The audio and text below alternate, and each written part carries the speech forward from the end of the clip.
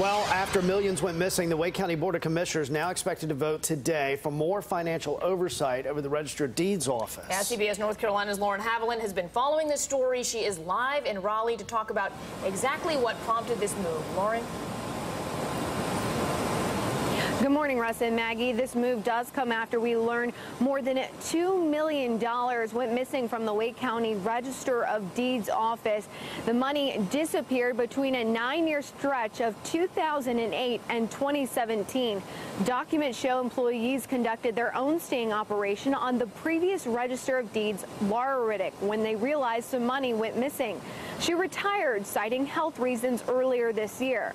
While the Wake County Board of Commissioners is expected to get more financial oversight over the Register of Deeds office. Commissioners say they will take it even a step further.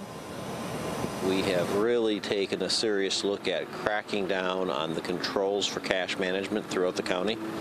We've locked down those areas where cash is handled and are ensuring that we adopt what I would call just good retail practices to make sure that the drawer is reconciled daily. We have reached out to Riddick and haven't gotten a response yet. So far, there are no charges in this case. Live in Raleigh, Lauren Haviland, CBS North Carolina.